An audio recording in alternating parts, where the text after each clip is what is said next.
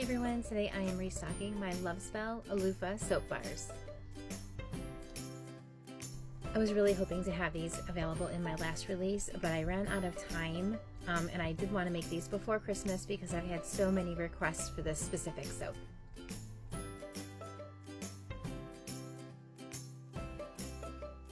I colored these in a pink and purple swirl.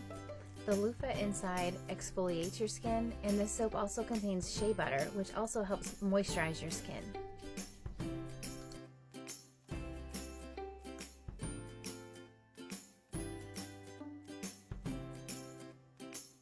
These are available on my website right now at eartharella.com. Thanks so much for watching.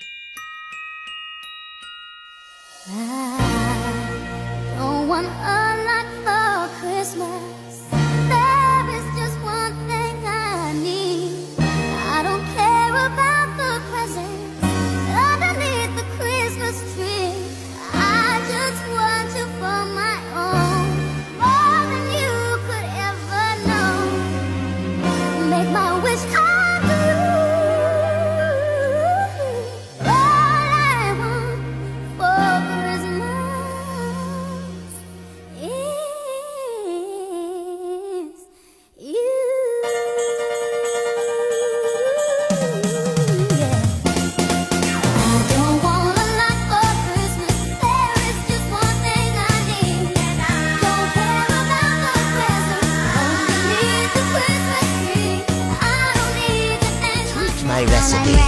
And now this Play-Doh soap is extra fluffy. Extra deluxe bubble love soap.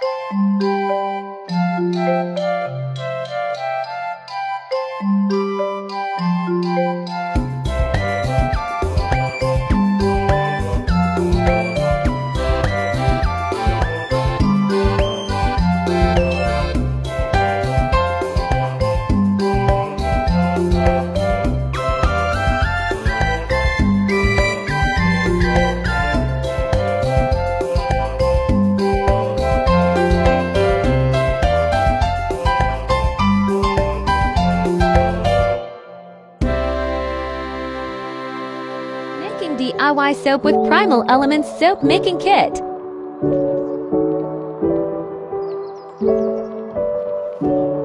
Comes with instructions.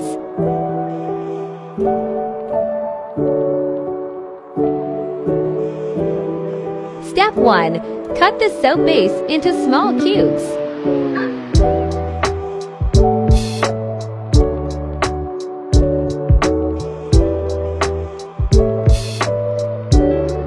In a microwave microwave safe container.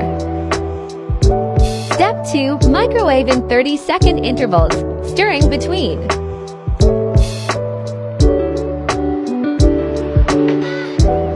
Be careful. It's hot. All melted.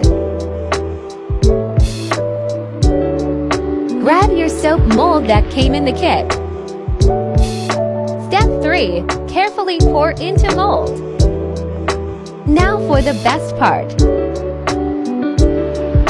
Step 4. Place your cute soap pieces in. Do this however you wish.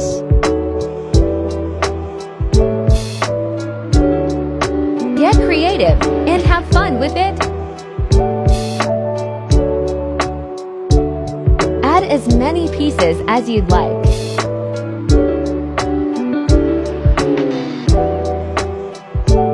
Step 5. Make sure everything is submerged in the liquid soap. Now we wait about an hour. One hour later. Just look at that. Step 6. Pop it out of the mold. Admire your work.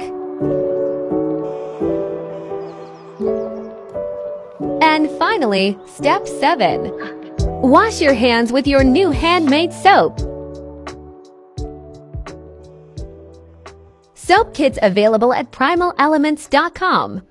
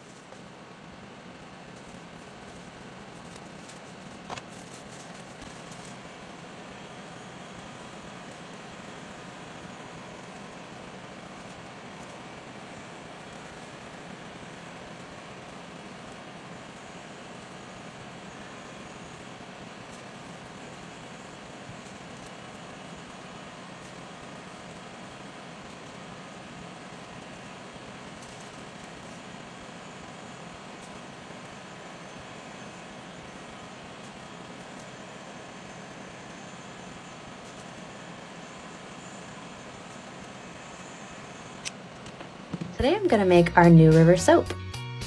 To start, I laid down a layer of clear soap and sprinkled in Himalayan pink salt, Hawaiian lava salt, and a Hawaiian red salt. These salts gently exfoliate and feature activated charcoal and nutrient dense volcanic clay. Next, I added a layer of orange and yellow aloe soap using back and forth motions to melt the colors into each other without swirling. A moment of silence for the lava lamp situation. Once that had set, I finished off the bar by swirling orange aloe soap with goat milk soap. And here's the finished product. I love how they turned out. This soap has notes of amber, cardamom, and citrus and is a total crowd pleaser. Now restocked on our website. I have these adorable Christmas tree molds that I'm pretty sure are meant for like brownies or something like that, but I, of course, decided to take them and make some soap out of them. So I tried to make a green swirl, but I'm a little bit worried because I think the two greens that I did was um, a little too similar in color. I'm not sure if you're going to be able to see the difference, but I thought that the Christmas trees turned out really, really cute. But here's where I need your guys' input. How should I decorate them? Should I like color the little knobs with multicolored micas to make them look like lights? Should I do them all like red to look maybe like berries? Should I do them all white to look like uh, white bulbs? What should I do? Let me know.